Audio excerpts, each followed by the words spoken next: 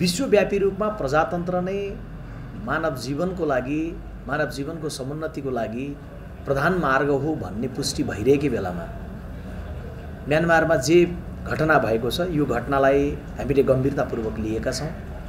यसलाई विश्वव्यापी रूपमा विरोध गर्न जरुरी छ। बर्माकी नेत्री आङ साङ सुकी राष्ट्रपति विन मिन्ट लगायतलाई गिरफ्तार गरेर त्यहाँको सेनाले एक वर्षसम्म सङ्कटकाल लगाएर प्रजातन्त्रलाई निलम्बित गरेको घटना आजको दुनियाँमा विश्वव्यापी रूपमै निन्दा गर्नुपर्ने हो। र सबैले यसलाई साझा ऐक्यबद्धताका साथ प्रश्न उठाउनु पर्ने घटनाको रूपमा हामीले लिएका छौँ।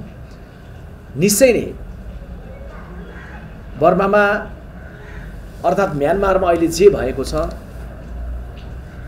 चुनावको क्रममा जे जस्ता प्रश्नहरू उठे होलान् ती प्रश्नहरूलाई निरूपण गर्ने भनेको निश्चित विधिले निश्चित प्रक्रियाले हो। निर्वाचनमा कुनै प्रकारको धाँधली भएको छ या निर्वाचनमा कुनै प्रकारको अनियमितता भएको छ भने त्यसलाई निश्चित संवैधानिक राजनीतिक प्रक्रियाद्वारा हल गर्न सकिने विषय हो। अथवा हिजो रोहिङ्गा समुदायमाथि जुन प्रकार सुकीको शासन सत्ताले अमानवीय व्यवहार गर्यो त्यो बारेमा पनि गम्भीर प्रश्न विश्वव्यापी रूपमा उठेकै हो र त्यसबारेमा पनि त्यसलाई परिमार्जन गर्नका लागि पनि निश्चित विधि र प्रक्रिया छ। लोकतन्त्रभित्र कमी कमजोरी हुन्छ शासन सञ्चालन गर्दै गर्दा भने त्यो कमी कमजोरीको बारेमा लोकतन्त्रभित्रैबाट प्रश्न उठ्न सक्छ र अमानवीयता भएका घटनालाई लोकतन्त्रभित्रैबाट उपचार गर्न सकिन्छ र उपचार गर्ने बाटोहरू खुल्ला हुन्छन्। निर्वाचनको विषयमा उठेका कुनै प्रश्नहरू छन् त्यो प्रश्नलाई पनि निरूपण गर्ने लोकतान्त्रिक विधि र प्रक्रियाहरू हुन्छन्।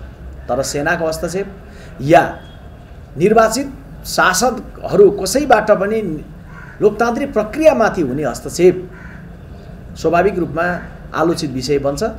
हामी यो बेलामा नेपाली काङ्ग्रेस पार्टीको तर्फबाट म्यानमारको यो घटनाप्रति विरोध प्रकट गर्न चाहन्छौँ।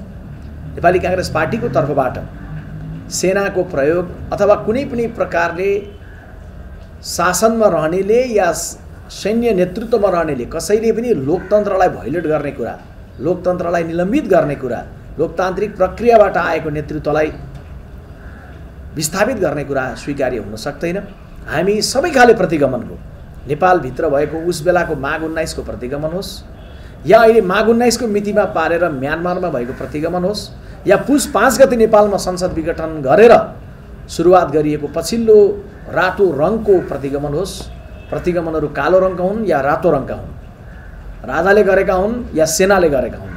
या निर्वाचित शासकले हाउ डेमोक्रेसी डाइजमा भने जस्तै निर्वाचित शासकबाटै पनि लोकतन्त्रमा खतरा पर्ने विषयहरू हुन्छन् भनिएका विषय हो। यी सबै कुराको हामी विरोध गर्दछौँ। सबै खाले प्रतिगमनको विरोध गर्दछौँ र विश्वव्यापी रूपमा अहिले चाहिँ आङसाङ सुकी लगायत वेन मिन्ट लगायत त्यहाँको निर्वाचित नेतृत्वलाई जुन रूपमा विस्थापन गर्ने जुन रूपमा कु गर्ने र सङ्कटकाल लगाउने कर्म गरिएको छ म्यानमारको घटनाको यसमा हामी विश्वव्यापी रूपमै विरोध हुनुपर्छ भन्ने चाहन्छौँ र नेपाली कङ्ग्रेसको पार्टीको तर्फबाट पनि यसमा हाम्रो प्रष्ट विमति छ।